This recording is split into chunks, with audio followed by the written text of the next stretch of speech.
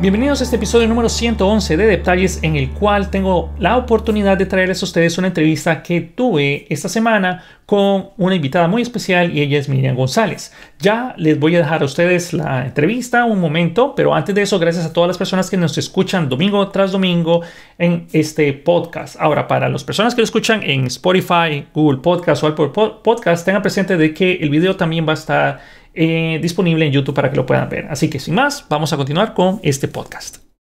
Bienvenidos todos a este episodio de detalles número no sé cuál, 107, 108, tengo que revisarlo, eh, en el cual tengo la oportunidad de hablar con una persona que a muchas personas me han pedido que hablara con ella y sobre todo porque eh, la verdad la trayectoria de este invitado que tenemos que es súper especial de Miriam González. La verdad es que yo me siento honrado de tener a una persona como ella en este episodio. Y bueno, es qué mejor que ella que nos dé una introducción sobre quién es, su carrera, quién es Miriam González. Y nuevamente, Miriam, gracias por eh, aceptar nuestra invitación de estar aquí. Tienes la palabra.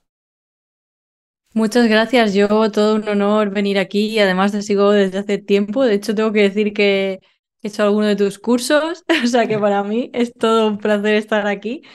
Y nada, pues yo soy Miriam González, soy ingeniera de software, soy divulgadora sobre tecnología y programación, podcaster y bueno, eh, yo intento un poco traer lo que es la programación a, todo el mundo y, que vean que se puede aprender de una forma divertida. Sí, de verdad, de hecho cuando, cuando, yo me acuerdo que lo primero, primero, primero que supe de ti hace buen tiempo, hace, no sé si fue hace medio año, un año, un año y medio, me acuerdo cuando fue un TikTok que me recomendó una persona y mira, aquí alguien está hablando de tu curso, ¿verdad? De un curso de React, creo que fue. Sí. Y yo, vamos a ver, y sale un, un TikTok de, de, Miriam González y vamos a ver quién es. Y la verdad es que me sentí bastante bien de saber de qué personas sugieren y recomiendan eso de los cursos míos. Porque la verdad que eso es parte también del objetivo, la, la, trayectoria que tú mencionas de divulgar, de eh, ayudar a las personas a aprender a programar o que cada vez ellos vayan aprender de una manera más fácil de como tú aprendiste, aprendiste, eso es exactamente lo mismo que yo también pretendo. A mí me encanta esto de, poder transmitir lo que yo sé o poder ayudarles a ellos a que aprendan más fácil de lo que uno le costó, porque a veces, escucha, uno pasa muchos, muchas horas o meses estudiando algo para tratar de digerirlo y procesárselo a las personas más fácilmente. Pero bueno. Sí, sí, eh, totalmente. Miriam, una, es justo eso. Eh, una consulta que, tengo por aquí, eh, yo sé que para más, de una persona es, es, obvio, pero ¿de dónde, ¿de dónde eres? Yo soy de España, de, concretamente vivo en Murcia. ¿En Murcia? Wow, yo no, tengo, no tengo mucha idea de cómo es España ni cómo está distribuido, pero suena interesante. ¿Cómo, es el clima por allá, por cierto? Muy caluroso, estoy en una zona de playa, así que bueno, en ah. verano esto es un infierno. ya, pucha. A veces yo me pongo, o sea, a veces mucha, yo estoy, yo estoy en otro extremo, yo estoy en Canadá y, la verdad es que la mayor parte de la gente piensa de que Canadá es frío todo el tiempo. Sí, yo pienso eso. Y la verdad es que no están de todo, de todo errado, Pero eh, llega un punto donde está bien caliente. Y mucha gente dice, mm. bueno, ¿cómo se puede poner caliente Canadá? Pero a veces llegamos a 37 grados centígrados, 40 grados centígrados, y se pone caliente. Pero eso es solo, no sé, unos dos, tres meses al año. Y ahí tenemos ocho meses. Hay unos, digamos, tres meses donde hay un frío extremo, extremo, extremo, y hay otro momento donde se pone ya agradable. La temperatura, hay una temperatura agradable para todo el mundo eventualmente, porque vamos de menos 40 a 40 positivos. Madre mía. Sí. Dios. Uno, uno, uno, empieza a comerse un helado y entre más chupa el helado, más grande se hace. Madre mía. En fin, ¿dónde estudiaste? Miren, si, si puedo preguntarte esto. Sí, pues estudié también eh, aquí en mi, en mi ciudad, en España, eh, en una universidad, bueno, la Universidad Politécnica de Cartagena, pero de España. ¿Hace cuántos años estudiaste eso? Eh, ¿Hace cuántos? Hace, bastante, hace poco. Sí, sí, sí, hace bastantes, hace por lo menos cinco o seis años. Cinco o seis años. Que terminé. Que terminaste. Ese, esa, esa, o sea, fue, fue una carrera directamente relacionada, imagino yo, con, con informática, con algo de computación. Sí, yo, yo estudié ingeniería, eh, en telecomunicaciones, una especialidad que se llama telemática. Y eh, sí, lo estuve estudiando durante siete años más o menos. Luego me quedé en la universidad trabajando también un tiempo. Mm, y después ya salté al sector privado, a una empresa. Y, y, como que tengo como esas dos etapas, ¿no? Separadas, la etapa de la universidad, aunque estuviera trabajando también allí, y luego ya la etapa de, de trabajar en empresa porque se trabaja muy diferente. Sí, sí, sí. ¿Y tú, tú, dirías que lo que estudiaste en la universidad, o sea, lo que viste en la universidad, te sirvió profesionalmente para lo que desempeñaste después? Sí. Sí, sí, totalmente, porque mi carrera es eh, la que yo he estudiado, eh, te habilita para muchas áreas de la tecnología realmente, no solamente para telecomunicaciones. Al final, eh, trabajamos con muchos lenguajes de programación. Yo te puedo decir que he podido tocar siete, ocho lenguajes a lo largo de toda la carrera. Mm, y, y, bueno, y, va desde lo más básico de cómo funciona Internet, mm, básico, básico, capas o sí, muy, muy básico, hasta hacer aplicaciones web, ¿no? Entonces tienes todo el camino, más luego cacharrear con, con aparatos físicos, con routers, con switches, hay pues una parte electrónica, entonces al final tocas mucho. ¿Cuántos años fue de carrera? ¿Unos cuatro, cinco? Son cuatro, yo la saqué en siete, o seis, seis, siete, no me acuerdo exactamente, porque los últimos años fue TFG, o sea, trabajar, trabajo sí, sí, sí, después se hace muy difícil eso. ¿eh? uno no tiene que decir, bueno, o como o sigo estudiando. Exacto. Ahora, en cuanto a... Mm, actualmente dices que estás trabajando en, en una empresa, ¿no? Sí, actualmente compagino mi trabajo como divulgadora en una empresa como freelance eh, americana y, bueno, al final es lo que esa modalidad es lo que me, permite poder también divulgar, porque si no sería imposible tener las dos cosas.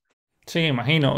y esto del freelance, estuve viendo un par de videos tuyos, de uno de ellos de que estabas hablando sobre cómo, cómo, cómo ser un freelance, digamos, no morir en el intento, porque es, sí. es bien difícil. Yo bueno, en este momento pues, podría decirse que yo soy freelance, pero ya no al nivel de freelance que fue hace muchos años. Cuando yo empecé a ser freelance, estamos hablando, no sé, unos 15 años, y mm, eh, todo era un poquito diferente como es ahora, porque eh, digamos que la, parte de las aplicaciones móviles estaban naciendo y mm, tratar de, de, hacer una aplicación móvil no era, tan, no era tan sencilla porque siempre tenía clientes que me decían, oh, yo lo quiero en iOS y lo quiero en Android.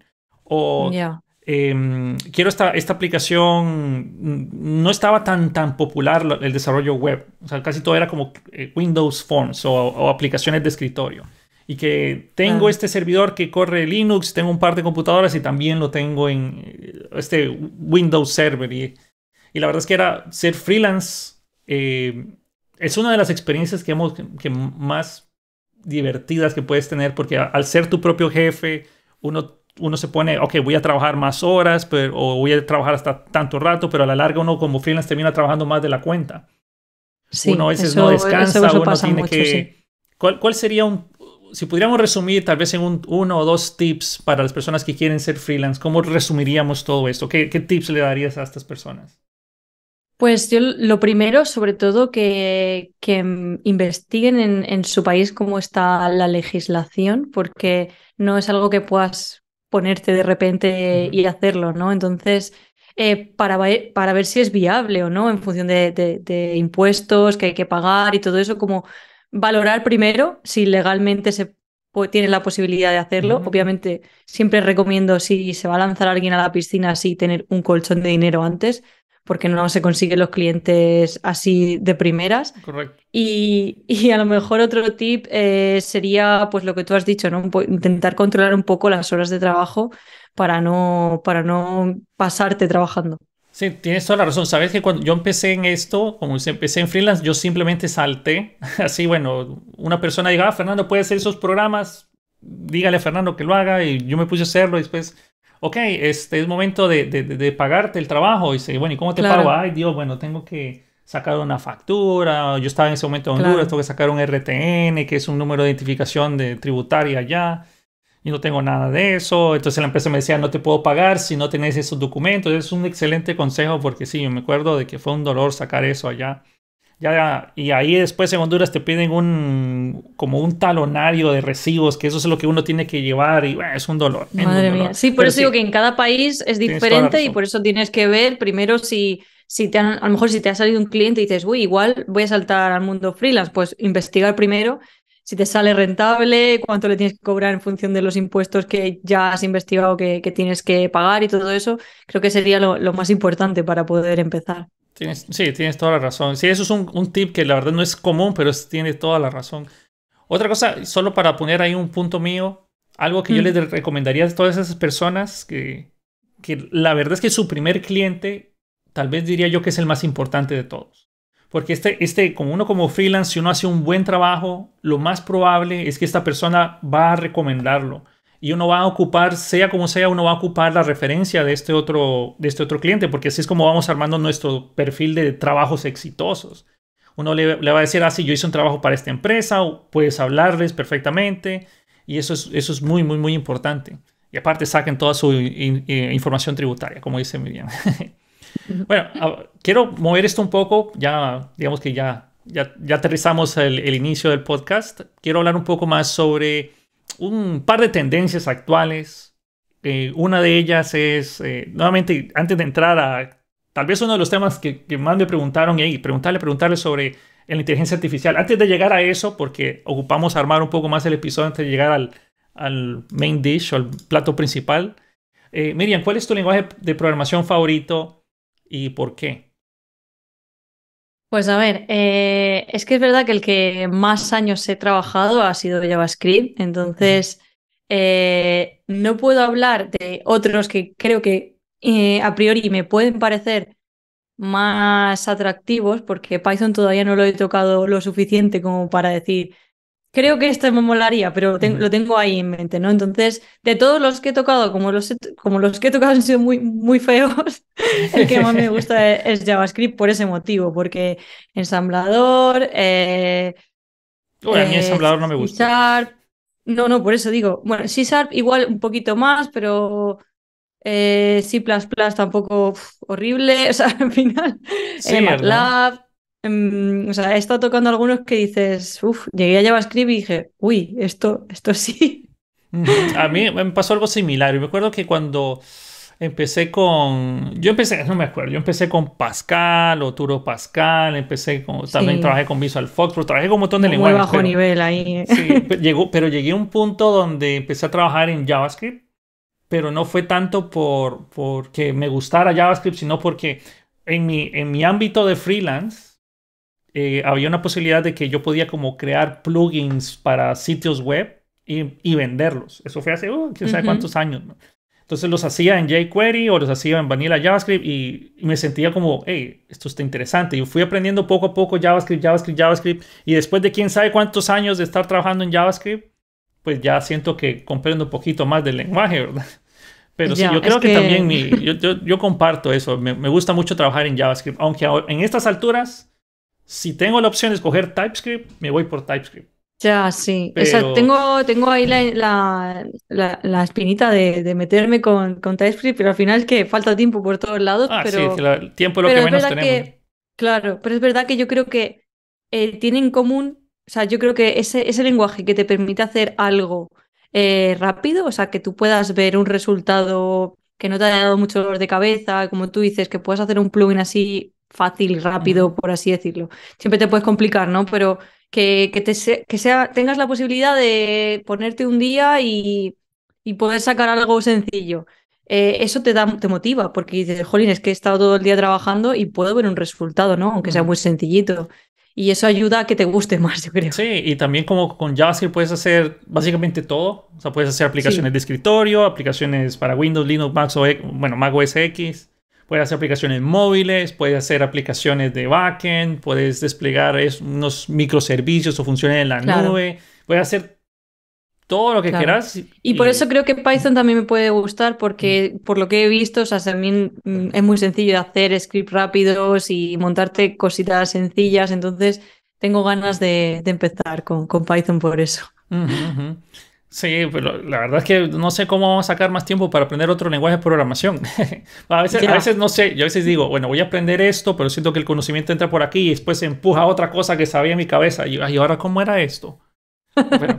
sí, otra, sí. Otra, otra pregunta que tenemos por aquí, Miriam, ¿cuál ha sido un proyecto desafiante que, en el cual tú hayas trabajado y cómo lo resolviste? Es decir, no necesariamente tiene que ser un proyecto grande, puede ser alguna funcionalidad en el cual pues te costó tiempo y neuronas y pues se murieron un par de neuronas ahí. Eh, pues a ver, en uno de un proyecto en el que estuve trabajando, eh, sobre todo era el, reto que yo tenía es que me enfrentaba por primera vez a un nuevo framework. Yo había trabajado mucho en otro framework que era Ember y de repente cambié a, a Nuxt y fue como... Mm wow, qué diferente todo, ¿no?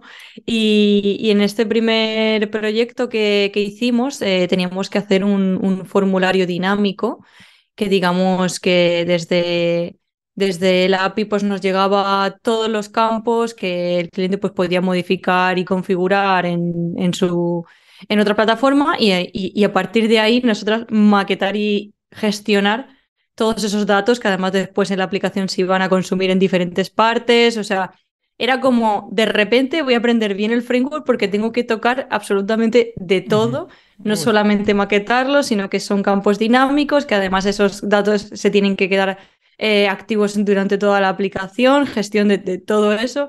Entonces, eh, lo recuerdo con cariño porque aprendí un montón, entendí muchísimo cómo funcionaba bueno, el life cycle de, de toda la aplicación y cómo trabaja eh, View por detrás y fue, fue difícil porque fue como aprender a la vez que sacarlo, pero, pero una vez lo terminé, ya digo, ahora, mismo eh, yo estoy muy orgullosa de esa parte porque además lo hicimos escalable, pensando en el futuro, al final todo muy configurable y estuvo muy guay.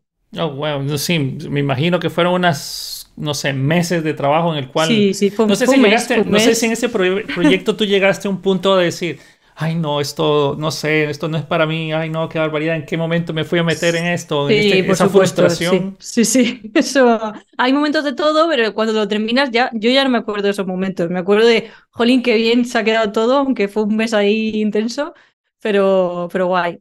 Sí, a, lo que quiero dejarles a las personas que nos escuchan es que a todas las personas les pasa, no importa qué tan buen programador sea, aquí tiene el caso de Miriam, sí que llega un punto donde chocamos con esa frustración.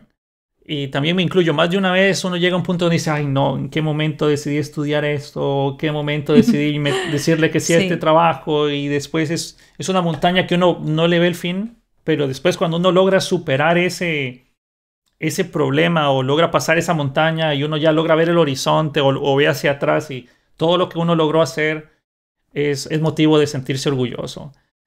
Sí, y además, eh, sobre todo cuando ya hemos empezado en el mundo laboral y sentimos que dominamos unas cuantas tecnologías, de repente tenemos que cambiar por lo que sea el stack entero, que es lo que a mí me pasó, y, me volví a sentir como junior otra vez, de decir, ostras, es que otra vez no entiendo nada, tengo que preguntar a la gente, yo que ya dominaba lo otro, ¿por qué me he cambiado a esto? Que madre mía, que o es como una frustración extra por el hecho de decir, yo ya controlaba cosas y ahora me vuelvo a sentir que no sé nada. Pero es que eso es como un ciclo y nos va a pasar constantemente. Y va a seguir, y va a seguir sucediendo, y va a pasar mañana, y va a volver a pasar. Sí porque hoy estamos muy cómodos con la tecnología que aprendimos y ya mañana, ¿saben qué? Ya no es así. Y otra, otra pregunta que tenemos por aquí, Miriam, es eh, ¿qué habilidades crees que son esenciales para un programador exitoso o un desarrollador exitoso? Yo siempre me tiro, en esta pregunta siempre intento irme por, por no skills técnicas, sino que creo que es muy importante una habilidad que es la comunicación sobre todo cuando trabajamos en equipo. Eh, no, sabéis la de la de líos y la de historias que pueden traer no tener una buena comunicación, desde dos personas desarrollando lo mismo sin saberlo, eh, a que no se ha llegado una comunicación entre varios equipos, por ejemplo, frontend y backend, y luego no haya una conexión ahí de qué era lo que me tenía que llegar los parámetros del endpoint y luego no son los mismos, o sea, se puede liar una importante ahí. Entonces, yo siempre soy partidaria de, antes de ponerte con una feature a, resolverla, o sea, directamente a, escribir el código, ten claro todo, habla con quien tengas que hablar, comunícate con un producto, con quien sea. Y cuando lo tengas todo ya, que no quede ningún fleco, entonces te pones, porque después deshacer todo eso... Sí, sí. La verdad es que concuerdo mucho contigo por tener habilidades así, digamos, un soft skill de buena comunicación con tu equipo, eso es valiosísimo, porque Ah, así, contando rápidamente una historia, yo eh, tuve muchos problemas en un área, en un departamento de informática donde yo trabajé porque teníamos principalmente problemas de comunicación. Las personas con las que estaba trabajando, todas, todas las personas eran muy hábiles, pero teníamos un problema de comunicación muy serio. Eh, la verdad es que me gustaría pensar de que... Um, perdón, perdón, Miriam, perdón. Eso después lo digo. no sé por qué hay un montón de ruido por ahí. Ok, bueno. Sí, yo tuve muchos problemas con, con un equipo de, de, desarrollo donde trabajaba porque principalmente era problema de comunicación, no tanto problema de habilidades, sino era problema de comunicación. A veces yo decía, vamos a hacerlo por esta manera y ellos decían, vamos a hacerlo de otra manera. Y en lugar de sentarnos y decir, ¿por qué quiero irme por este lado o por qué ellos recomiendan irse por este lado? Cada uno agarraba por su camino y empezaba a crear una aplicación que después no se podía unir. Y o bueno, terminamos creando un Frankenstein que a la larga pues iba a terminar siendo reemplazado por el siguiente programador que saliera a la universidad, ¿no? Pero a sí, yo creo que principalmente pasa eso, ¿no? Que los mayores problemas en los equipos son más de comunicación que de habilidades, porque al final yo creo que los desarrolladores son, estamos muy predispuestos a, si no lo sé, lo busco, lo aprendo. O sea, para eso sí hay mucha predisposición, ¿no? Pero, pero luego la comunicación nos cuesta más. Y yo creo que que es, es, que es lo más importante, porque al final tenemos que dar una solución a un problema y, individualizándolo no se llega al mejor, a la mejor solución, sino que si nos reunimos todos y ponemos en común todas nuestras ideas y llegamos a una que seguramente no sea ninguna de la de nosotros, sino una mezcla, em, es la mejor manera. Y además en ese momento se resuelven todas las dudas, todo el mundo está en la misma página, sabe lo que tiene que hacer, pero no se quiere gastar tiempo en comunicarse. Sí, también las habilidades, digamos, que ahora vamos a programar en un nuevo lenguaje o usar un nuevo framework, un nuevo stack, eso se aprende. Eso se aprende. Mm. Sacamos un mes o 15 días, 20 días, lo que, el tiempo que sea necesario, lo, sentamos y lo aprendemos. Pero poder tener la capacidad de sentarse a dialogar con tu equipo y decir, ¿por qué creo que esto es la mejor opción en lugar de esta otra, que para ellos puede ser la mejor opción? Eso vale muchísimo la... O sea, es algo más difícil de, de elaborar. Saber en el momento en que otra persona tiene razón sobre lo que nosotros estamos queriendo hacer, eso es bien difícil. Pero yo creo que ahí es donde mm. te, vas capacitando más. Yo creo que yo he aprendido muchísimo de escuchar a compañeros míos, eh, a Liz de equipo, que me explican sus soluciones, por qué, porque yo pregunto, o sea, vale, yo te he propuesto esto, que yo soy junior a lo mejor y, y no tengo tanta visión de, este proyecto o de enfrentarme a muchas tareas, pues no tengo toda esa visión, pero te doy una solución que a lo mejor tú no habías pensado. y esa persona me dice, pues mira, eh, yo tengo esta y te explico esto y esto y esto, y, los dos aprendemos mucho. Entonces, no es solamente por comunicarlo, sino que te enriquece un montón y, yo creo que ahí es donde das el salto de junior a senior, porque vas aprendiendo a, abrir esa mente y a, saber defender también tus propuestas y el por qué, no solamente el pues voy a usar esto así porque me gusta, no, un motivo detrás que, se, que eh, se demuestra que entiendes de lo que estás hablando y conoces la solución que estás presentando. Entonces yo creo que se aprende muchísimo y, es donde vas evolucionando y vas creciendo como desarrollador. Sí, totalmente de acuerdo. Muchas, muchas veces cuando uno trabaja en un equipo de, de programación con personas que son hábiles, eso es lo mejor que te puede pasar. Muchas veces las personas terminan diciendo, yo no, yo prefiero trabajar solo, prefiero trabajar eh, por mi cuenta, pero, o sea, sí, no está mal, o sea, no está mal que tú puedas encargarte de todo, pero eso significa de que nunca has trabajado en equipo con personas que estén o a tu mismo nivel o a un nivel superior, porque cuando realmente puedes decir, ok, te voy a delegar esta tarea, encárgate tú de hacer esto, yo solo me puedo enfocar en esta pequeña parte para que funcione mejor, eso es algo que vale oro para la empresa, de que, tener un equipo de personas competentes es muy hábil. O sea, que no se entorpezcan el desarrollo, de que sean, si se puede, que sean el mismo nivel todos, o obviamente personas que tengan más nivel que uno, eso sería ideal. Ahora, otra pregunta que tengo por acá, que varias personas me, me pidieron que habláramos, es una de relacionadas al AI. O sea, ¿qué piensas con todo esto del AI, ChatGPT, Copilot, Barn?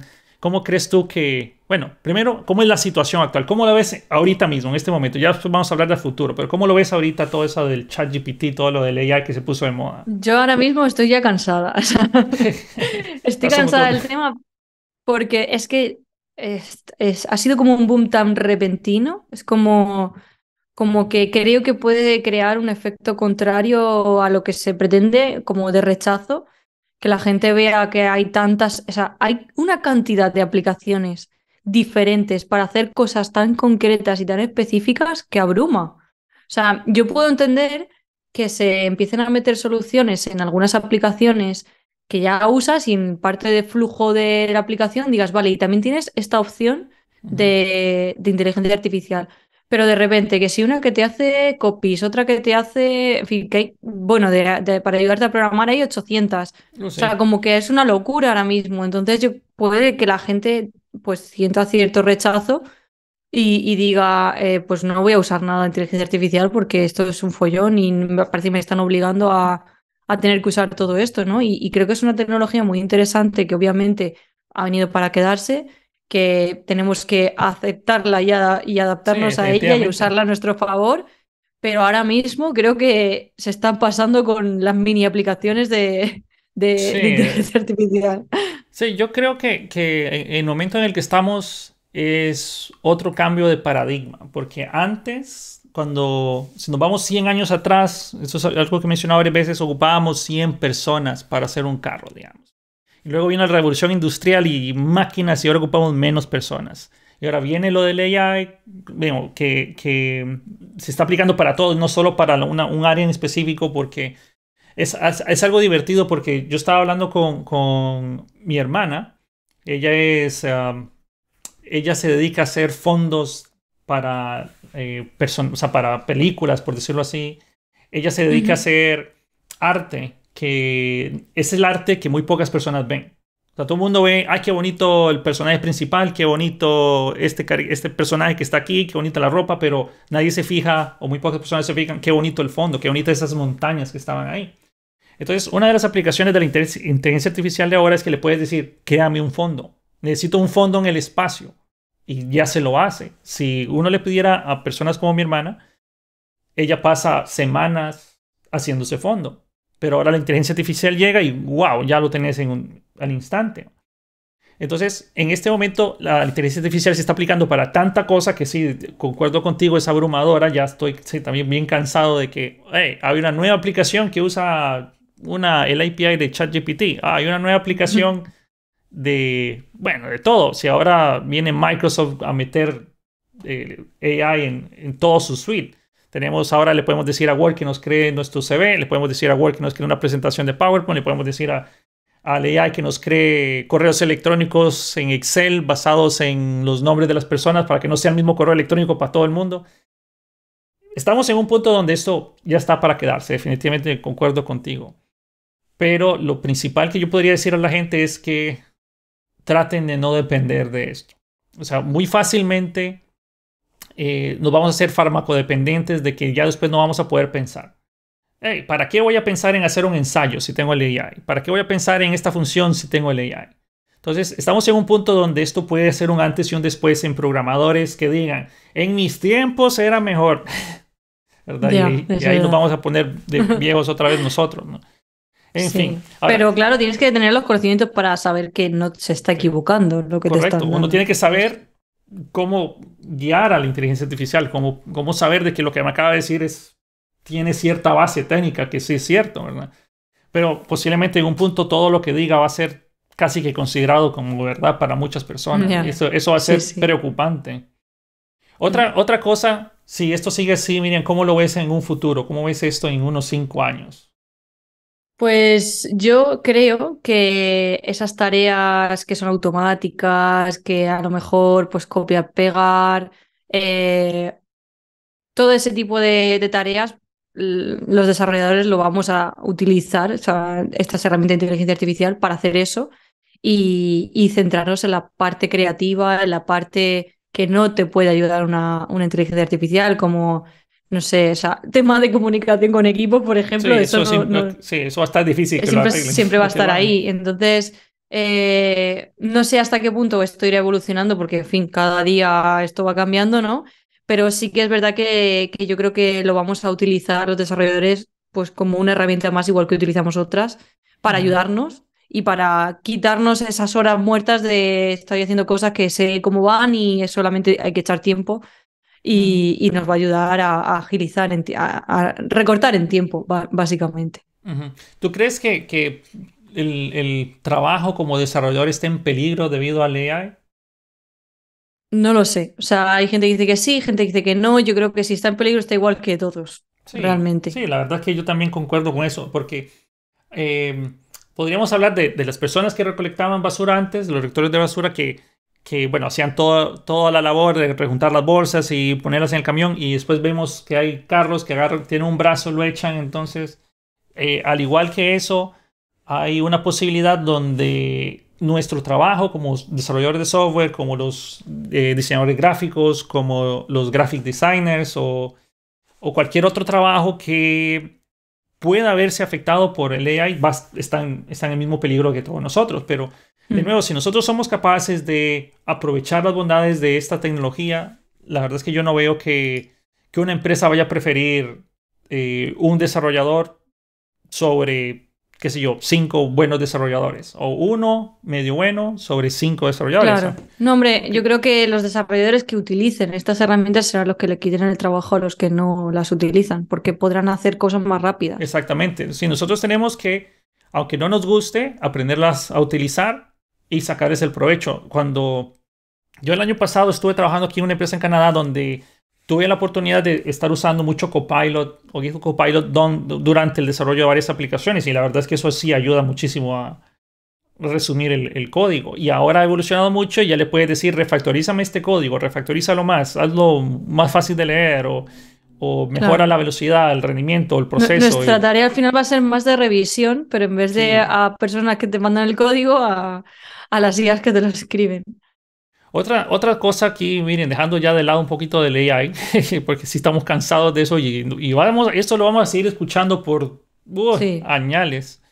Eh, ¿Qué aconsejarías a las personas que tienen tiempos ajustados de entrega de un, de un proyecto? Por ejemplo, yo, yo sé que todo el mundo dice, esto lo queríamos para ayer, pero digamos que tenemos un lapso de tiempo, ¿cómo lo planificarías o cómo manejas esos lapsos de tiempo? Pues mira, desgraciadamente esto es algo que me pasa constantemente, o sea, yo creo que es el día a día, o sea, el caso ideal de que te den el tiempo justo para lo que necesitas y que llegas en tiempo y tal, es muy difícil, siempre es para ayer todo, y con cambios y demás. Entonces, lo que suelo hacer cuando me enfrento a este tipo de, de tareas es dividirlo primero en qué, qué es lo mínimo que yo tengo que hacer de esta feature para que funcione, para que haga los requerimientos básicos del usuario, porque muchas veces, eh, pues a lo mejor en mi caso que yo estoy en la parte de front, cuando te llega el diseño, te llega final con lo deseado, con animaciones, con todo, ¿no?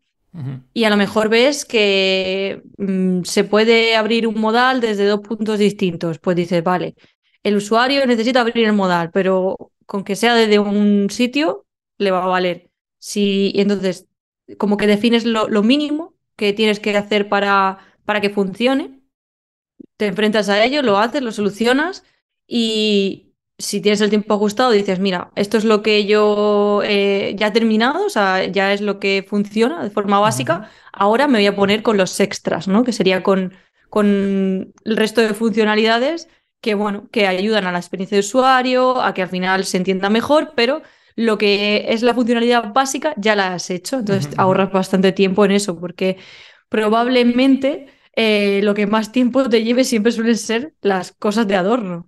no sé por qué, pero siempre pasa eso. Una, pregunta, Miriam, ¿cómo haces tú ah, cuando, digamos, como freelance, o sea, tú, imagínate, tú estás así como freelance, ¿cómo haces tú para decirle a el cliente no, eso está fuera de lo que me pediste originalmente y entonces no puedo darte más tiempo porque, o sea, eso me va a requerir una semana más de trabajo, dos semanas más de trabajo. ¿Cómo haces tú para explicarle al cliente que necesito más tiempo? en, este tipo de... Sí, ¿no? en este tipo de cosas eh, yo nunca digo que no, o sea, siempre digo sí, o sea, esto, si lo quieres así, perfecto, pero requiere más tiempo. Si no quieres esto, lo vas a tener en el tiempo que me has dicho. Y normalmente siempre suelen optar por, no, venga, vale, sin eso. O sea, al final, yo soy sincera, yo hago lo que tú necesites, sin problema, pero eh, esto a partir de aquí, o sea, esta parte, bien, entramos en tiempo, pero a partir de aquí, pues se sale de tiempo, te lo puedo hacer, pero el coste es más tiempo. Entonces, siendo claro en ese aspecto, yo creo que no, suele haber ningún problema, porque es imposible multiplicarte y poder hacerlo en menos tiempo. la, pregunta también va orientada porque muchas veces cuando bueno, yo era freelance y me tocaba, bueno, me acuerdo, tengo un cliente en particular que, que, si me está escuchando, él sabe que voy a hablar de él. Pero em, yo hice un software junto con otra persona, bueno, hicimos un software que era más que todo para, era un sitio web donde las personas se conectaban y hacían su ensalada de frutas, la, la, armaban y todo quedaba súper bonito, manejaba su inventario de productos. Eh, eh, mandaba notificaciones cuando el inventario estaba abajo de alguna fruta, le mandaba las órdenes a la cocina para que la hicieran y, era todo un flujo, era, era más complejo de lo que suena una página web de ensalada de frutas. Eh, terminaba con una orden que se la llevaba una persona en motocicleta y iba a dejar la fruta. Entonces, eh, era bien divertido, o sea, fue, fue bien divertido, pero esta persona empezó a decir, ok, cuando, cuando él nos contrató, estaba hablando hace muchos años, pero bueno, nos contrató, él nos pidió para hacer la página web y la venta de las frutas, pero después el, tipo dijo, ah, bueno, pero yo estaba dando por entendido que ustedes iban a ocupar el, sistema de inventario también, o sea, que iba, a ocupar un sistema de inventario para manejar eso. Y luego, bueno, no acordamos, de, no acordamos nada de eso, pero se puede hacer eh, un adendum al contrato, se puede hacer tal cosa a, lo que voy es que uno tiene que llegar a un punto como, como freelance específicamente o en general en cualquier desarrollo de software. ya, en general en todo. Uno tiene que ser bien, bien claro y que la, el cliente sepa hasta dónde vas a llegar. Entre, sí, eso es muy regresando al tema que había mencionado Miriam, de que la comunicación, casi que las habilidades más importantes no son técnicas, correcto. Estoy totalmente de acuerdo contigo. Entre más claro sea y entre más claro sea el objetivo final de lo que vas a hacer, para evitarse esos malentendidos, porque usualmente si el cliente, uno como freelance, le queda mal, va a hablar mal de ti, va a hablar mal de tu trabajo, a pesar de que tú tengas toda la razón. A pesar de que, sí, no, yo no hice eso porque no estaba en el contrato, eso no era lo que me pediste, eso no es lo que acordamos, pero para los ojos del cliente no va a ser muy bonito, o sea, no, no vas a tener una buena reputación. Sí, mira, yo creo que vas aprendiendo. Conforme van pasando de este tipo de cosas, ya dices, vale, para el siguiente cliente lo vamos a dejar todo por escrito, que entra y, dejar claro que todo lo que se vaya diciendo después de ese escrito va a entrar en una siguiente fase. Pero a lo mejor es la, primera vez que te pasa, pues hay veces que tienes que, tragar y, Exactamente, tirar para adelante, porque mala fama es lo peor. muy duro, sí, el inicio del free, de, uno como freelance, creo que el primer cliente es el, el, más difícil de todos. Uno comete tantos errores. Ay, ¿por qué lo hice así? ¿Por qué le dije que sí? ¿Por qué no cobré más? ¿Por qué eh, no le cobré yo esta licencia? ¿Por qué la tengo que comprar yo? Ahora tengo Pero bueno, son este aprendizajes. Al final lo importante es ir aprendiendo y ir tomando decisiones. Yo por eso cuando en el vídeo este que comentas del freelancing, eh, siempre digo eso, que, que, tú vas teniendo como tu forma de trabajar, ¿no? Y, y cada vez que te van pasando cosas, pues le vas añadiendo a esa lista de requerimientos, ¿no? De no, que necesito tener todo claro y que me mande todo antes de empezar porque luego es un lío, tal. Pues todo ese proceso lo vas creando y lo vas modificando conforme vas trabajando con más gente. Vamos, vamos eh, aterrizando ya cerca del final del podcast. Nuevamente, gracias Miriam por, por todo. Todavía me quedan dos preguntas, pero quiero aprovecharlo. Uno es, ¿cuál sería tu consejo para, para alguien que quiere empezar a aprender a programar? ¿Qué le recomendarías tú? ¿Qué, qué, camino o no sé, qué tip le darías tú? Sí, mi consejo y que el que siempre doy es que empiece a familiarizarse a, gestionar la frustración porque es la primera barrera de entrada que, que, va a encontrar a la hora de programar y es enfrentarte a cosas que no tienes ni idea, que no, es que no sabes ni por dónde cogerlo y tienes que estar dándote contra la pared una y otra vez, intentando, intentando, intentando, hasta que en un momento ves la luz, ¿no? y, dices, ostras, ahora sí lo entiendo, ahora me ha salido esto que no me estaba saliendo desde hace tres días, pero es como que necesitas ser muy, muy perseverante y, trabajar con la frustración constantemente. Y hasta que no manejas eso, lo sufres mucho.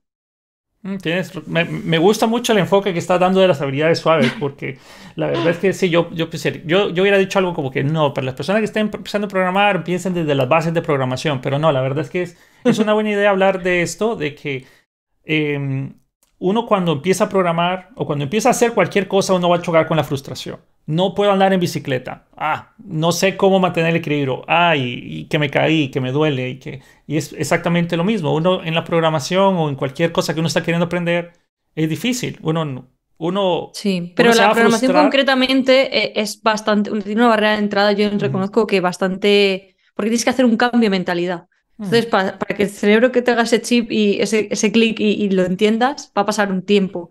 Y en ese tiempo tienes que echar muchas horas. Y si, y si no te enfrentas a esa cantidad de horas hasta que te haga el clic, no lo entiendes y no te gusta. Sí. Entonces eso hay que pasarlo. Sí, sí. Vas a, vas a, vas a ver cualquier problema de programación como tan, tan, tan imposible de hacer que vas a llegar al punto de frustrarte y dices, no, esto no es para mí, esto no es para mí. Y tiene sentido de que aprendas a dominar la frustración. Diría yo, añadiría yo, de que no todo en, la programación es frustración. Eventualmente, tú logras pasar ese, esa curva de aprendizaje y todo se hace más tranquilo.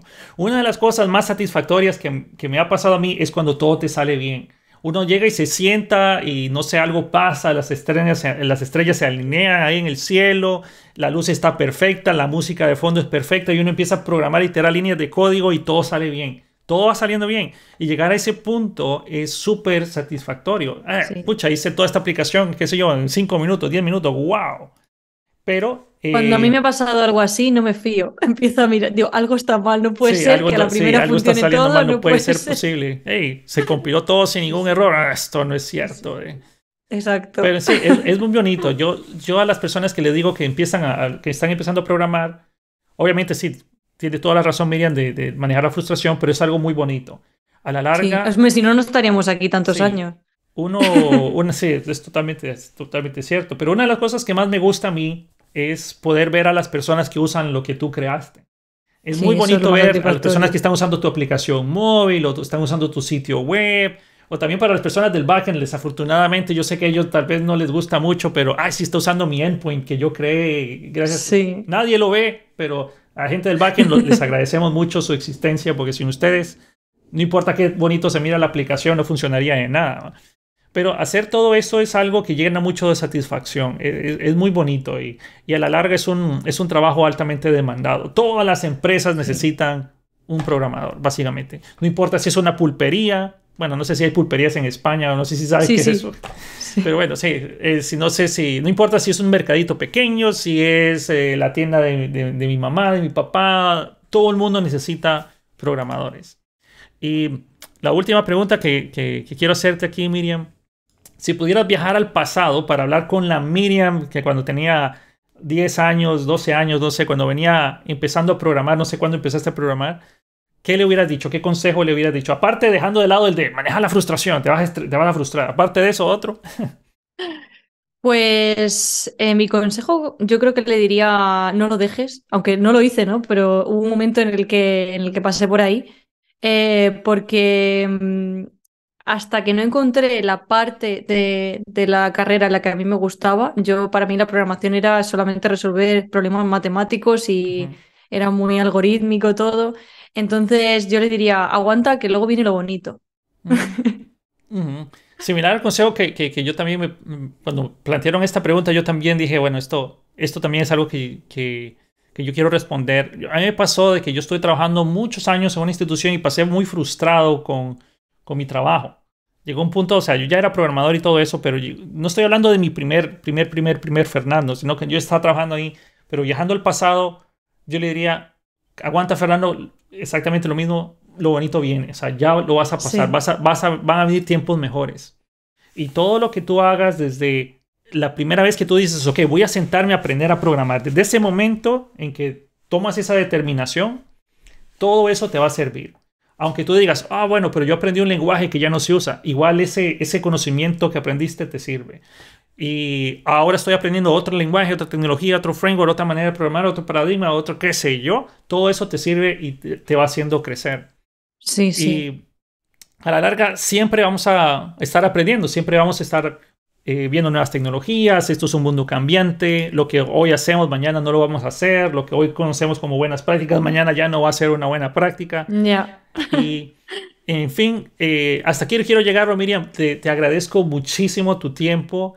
Nuevamente quiero dejar las puertas abiertas en el caso de que tú necesites algo. Aquí estoy con mucho gusto. Nuevamente, gracias por tu tiempo. Sé que ya es tarde en España y Figo tienes mil cosas que hacer por allá. Pero nuevamente me siento muy halagado y complacido de que, de que hayas decidido tomar este, estos minutos de tu tiempo conmigo y lo valoro muchísimo. ¿Algunas Mil palabras gracias, finales? Fernando, por- Sí, mil, mil gracias por invitarme aquí al podcast a hablar contigo. Pues ya te digo que para mí me hace mucha ilusión estar aquí y me lo he pasado muy bien. Así creo que ha sido una charla muy, muy enriquecedora. Y nada, yo encantada de volver. Ok, gracias Miriam nuevamente. A Adiós. todas las personas, cuídense mucho y nos vemos en el siguiente episodio de Detalles. Hasta la próxima.